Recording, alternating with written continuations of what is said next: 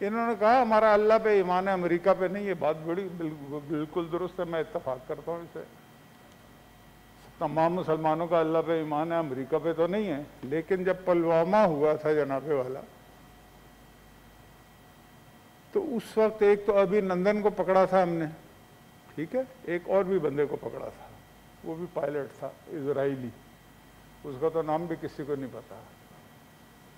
और इन दोनों को अल्लाह के कहने पे नहीं छोड़ा था अमेरिका के कहने पे छोड़ा था। एक ही दिन में दो दिन नहीं रखा कि ये जनरल साहब को भी पता होगा इस बात ठीक है? तो ठीक है ये अच्छी अच्छी बातें फिर भी करनी चाहिए। मैं इन, इनको खराज तहसीन पेश करता हूँ इस तरह की बातें तो कम अज कम करते हैं। इनकी अगर हुकूमत अमल नहीं करती तो इसमें इनका तो कोई कसूर नहीं है। ये तो अपना पैगाम दे देते हैं ना।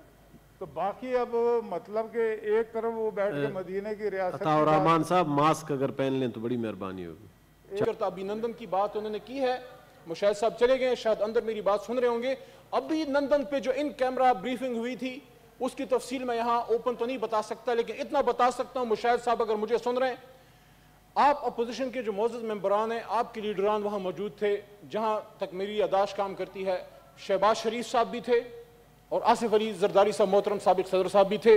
उनकी मौजूदगी में ये बात डिस्कस हुई और उनमें से किसी ने और एमएमए की भी नुमाइंदगी वहाँ थी किसी ने ऑब्जेक्ट नहीं किया कि अभिनंदन को ना दें। तो अंदर आप बात कुछ करते हैं और बाहर बात कुछ करते हैं अगर अभिनंदन को वापस दिया तो किसी के प्रेशर में नहीं दिया।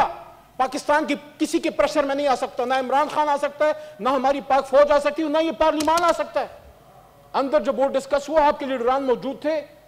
आसिफ अली जरदारी साहब मोहतरम शहबाज शरीफ साहब या एमएमए की नुमाइंदगी या और बड़ी जमातों की नुमाइंदगी थी, वहीं पे ऑब्जेक्ट करते कि नहीं देना हमने। वहाँ तो बड़ा अफसर कहा कि खामोशी से बैठे रहे, सुनते रहे, और आपने कहा बिल्कुल देना चाहिए अच्छा जेस्टर है, बाहर आके फिर आप एक और बात करते हैं। तो ज़रूर बातें होनी चाहिए, लेकिन अमल जो है ना, फिर एक बात सर, मैं और मैं बड़ी मुख्तसर बात कर रहा हूँ।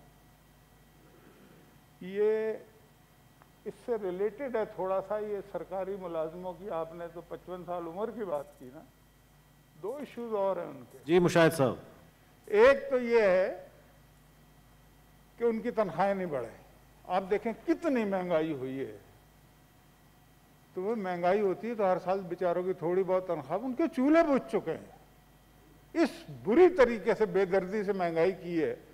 उसमें भी बड़ी लंबी तकरीर हो सकती है लेकिन चले आप उनके आँसू तो पहुँचते एक तो उनकी तनख्वाह नहीं बढ़ाई जनाबे वाला।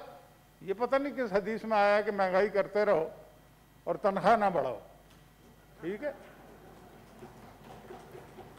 और उसके बाद एक और कि ये इंक्रीमेंट बंद कर रहा है। ये मतलब दुनिया भर में ऐसा नहीं है कहीं।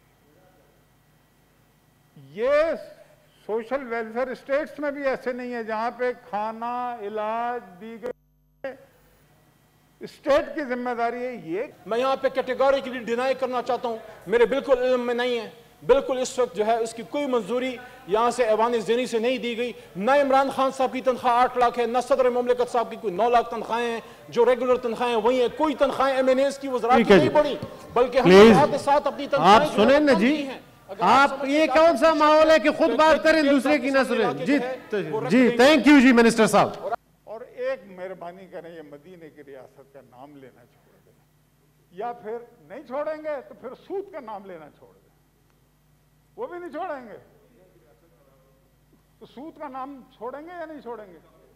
सर जी मुशाहिद जी प्लीज़ तो सूद का छोड़े ना ये इसलिए कि आप एक वक्त में आपके प्राइम मिनिस्टर हाँ? जी। जी मुशाहिद साहब।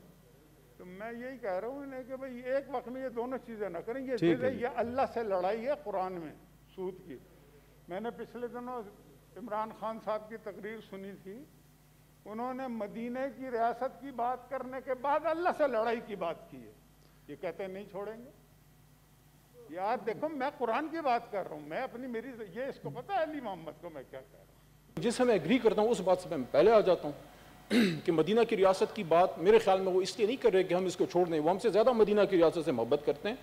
लेकिन उनका पॉइंट ये कि अगर आप मदीना की रियासत की बात करते हैं तो सूद के निज़ाम से निकलें तो ये तो मैं नहीं कहता ये तो हमारा आईन पाकिस्तान कहता है ये तो अल्लाह ताला कुरान में भी कहता है और ये तो हमारे कायद अजम भी कहते थे 1948 में जो स्टेट बैंक के उनकी स्पीच है 47 में आई थिंक तो उसमें मुशाहिद साहब प्लीज़ मुझे बस सुनने दें जी। कायद अजम ने स्टेट बैंक से स्पीच करते हुए फरमाया था और मैं कौमी असम्बली में, अभी बजट में स्पीच में ये बात कर चुका हूँ कि सत्तर साल से हम, अल्लाह तो छोड़े, हम कायद अजम की भी बात के मुखालिफ जा रहे हैं, अल्लाह की तो बहुत बड़ी बात है। कायद अजम ने यह स्टेट बैंक में कहा था कि I shall watch with keenness the work of your research organisation in devising the banking principles in accordance with Islamic principles जो है बैंकिंग के। और वो पूरी उनकी स्पीच मौजूद है, कोई भी जाके आज देख ले। उन्होंने उसमें यह भी कहा था कि जो वेस्टर्न इकोनॉमिक सिस्टम है, वो काला, गड़ा है, अंधेरा है, और उसने उसने उनको कुछ नहीं दिया। और कायद अजम ने उस स्पीच में यह कहा था कि हमने दुनिया को इस्लामी बैंकारी और इस्लामी इकोनॉमिक सिस्टम की तरफ़ लेके आना है। ये तो कायद अजम जो पीछे तस्वीर लगी है, वो कह चुके हैं बात। लेकिन मदीना की रियासत की बात देखें, इस सरजमीन पे, इस दुनिया में एक रियासत बनी मदीना की रियासत जो रसूल करीम सल्लल्लाहु अलैहि वसल्लम, खातम नबीन, उन्होंने बनाई। ना कोई ऐसी बना सकता है, ना कोई ऐसी बनेगी दोबारा। लेकिन हमारे लिए आइडियल क्या है? हम जब सुन्नत नबी बयान करते हैं हदीस शरीफ बयान करते हैं हमको इनको सौ परसेंट फॉलो कर सकते हैं साहबा कराम अहल बैत को लेकिन इसलिए बयान करते हैं कि उसके नज़दीक पहुँचे। तो मदीना की रियासत की बात तो मैं समझता हूँ ये तो अल्लाह का एहसान है इस कौम पे कि जो हमारे मोहतरम कराम यहाँ पे कराम मौजूद हैं। ठीक है हमारी कभी कभी नोक झोंक भी होती है लेकिन एहतराम तो हमारे दिल में है आप तो दीन के सतून हैं। मस्तारमान साहब मौजूद हैं गफूर हदी साहब मौजूद हैं। जो ये मोज़ कराम मेंबर ऑफ़ मस्जिद पर ही बात करते थे मदीना की। आज वज़ीर आज़म के मुँह पर अल्लाह ने जारी कर दी। ये कितनी बड़ी अचीवमेंट है अल्लाह ताला की तरफ़ से। अब हम हम पे लाजम है कि मदीना की स्टेट की तरफ़ अपनी आ, अपना सफ़र जारी रखें मजबूती से और सूदी निज़ाम के खात्मे की तरफ़ जाए। सुप्रीम कोर्ट का ऑर्डर मौजूद है। और ये आपके पास के आपके जेरी ईवान से जनाब चेयरमैन साहब दो तीन बड़ी करारदादें पास हुई हैं जिसकी रेप्लीकेशन यहाँ पे हुई जो मैं मुश्ताक साहब देता हूँ इस वक्त नहीं है। कि जब खातम नबीन सल्लल्लाहु अलैहि वसल्लम की करारदाद वहाँ से पास हुई आप लोगों ने भी पास की। हमने परसों तरसों यहाँ से एक और करारदाद कौमी प्लीज़ इंटरफेयर ना करें मौलाना साहब मास्क पहने। के जो फेडरल यूनिवर्सिटीज हैं जी ठीक है जी। मदीना की रियासत की बात की ना यहाँ पे मुशाहिद साहब ने फेडरल यूनिवर्सिटीज फेडरल एजुकेशन जितने भी हैं वहाँ से हमने करारदाद पास की है इसी हफ़्ते के कुरान को बातर्जमा पढ़ाया जाए। ये एक स्टेप है उसकी तरफ़। वो है सी पैक की बात।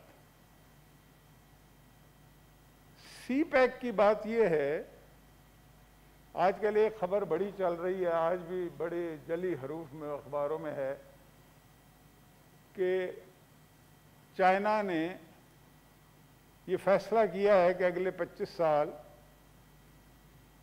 400 बिलियन डॉलर की इन्वेस्टमेंट करेगा ईरान में और चाह बाहर से उन्होंने निकाल दिया और हम बड़ी बगले बजा रहे हैं। लेकिन मैं ये समझता हूँ कि ये बगले देखें, दुश्मन का नुकसान हमारा फ़ायदा नहीं है? ये भी मैं आपको बता दूँ, हमें अपना फ़ायदा देखना चाहिए। अपना नुकसान करके अगर उसका नुकसान हो भी रहा है तो फिर क्या? अब मुझे एक बात बताएँ, दो साल से सी पैक पर कौन सा काम हुआ है? ये जिस लाइन, ये ट्रेन लाइन के, ये ये इसका आधे से ज़्यादा काम हो चुका होता है, अगर उसी रफ्तार से, जिस रफ्तार से हमारी हुकूमत में सी पैक का काम हो रहा था, और आज चाइना अगर ईरान में 400 बिलियन डॉलर की बात कर रहा है तो उसका एक पहलू यह है कि इस मौजूदा हुकूमत ने सी पैक और उन्हें यह मैसेज मिला है, और मैं ये ज़िम्मेदारी से कह रहा हूँ।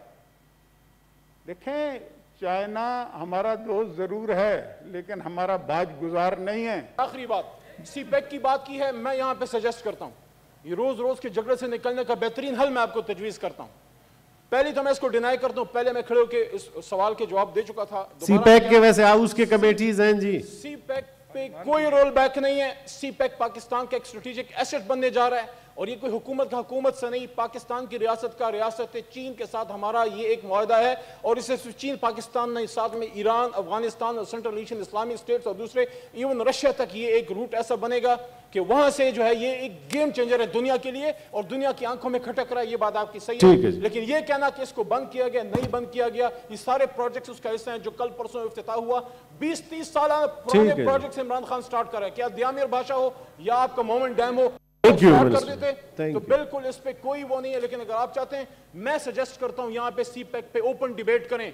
और अपोजिशन के मेंबरान भी आए कि आपके दौर में क्या हुआ और क्यों आपने सी पैक को मुतनाज़ बनाया कि मगरबी रूट की रूट की तरफ़ आए। ठीक है तो आखिर में यही कहूँगा कि यहाँ वो बात करें जिसके पास आपके पास कोजेंट दलाल मौजूद हो। कोई सी पैक को रोल बैक नहीं किया जा रहा। कोई अभिनंदन को हमने ठीक है जी, you नहीं, जी। आपकी मशावरत से छोड़ा थैंक यू जी। सेनेटर कि किसी शख्स के झूठा होने के लिए इतना ही काफ़ी है कि वो सुनी सुनाई बातों पे खुद भी यकीन करे और आगे सुना दे ले जाके। अब मुझे ये बात बताइए कि ये दो और उसके बाद असद उमर ने क्या कहा था कि सुनी सुनाई बात है, इस बात में कुछ नहीं है। तो ये बड़ी अच्छी हदीस सुनाई है, लेकिन आज उन्हें ख़ास तौर से जाके सुनाइएगा कि बस ज़रा ये सुनी सुनाई बातों पे इसके अलावा मैं दर्जनों बातें कर सकता हूँ, लेकिन इतना ये टाइम चेयरमैन साहब मुझे नहीं देंगे तो ये बहुत अच्छी बात है, ये बड़ी अच्छी हदीस है। इसको ज़रूर, इसको रोज़ाना सुनाना चाहिए, लेकिन इसको सिर्फ़ सुनाना नहीं चाहिए, इस पर अमल दरामद भी करना चाहिए। दूसरी, सर, मैं एक और भी इन्होंने बात की, वो भी रिलीजियस बात थी। तो उससे मैं नहीं एग्री करता, सच्ची बात उन्होंने की कि सच बोलना चाहिए। मैं भी कोशिश करूँगा मेरा लीडर भी कोशिश करेगा लेकिन हमारा हाफजा भी ताज़ा है। अभी कल ही की बात है कि किसी ने कहा था कि मुझे तो पता नहीं कि मेरे यहाँ तो क्या लंदन में तो क्या यहाँ भी प्रॉपर्टीज़ नहीं है। और यहीं पे किसी ने इस ऐवानी जेरी में कहा। था कि हुजूर वाला ये है वो जराए और वो सुप्रीम कोर्ट ऑफ़ पाकिस्तान ने वो कागजात का पलंदा वापस किया कि हुजूर हमें एक रसीद तो दे दें कतरी खत आ गया जवाब में। तो मैं समझता हूँ कि बाकी लोग उस अमल कर सकते हैं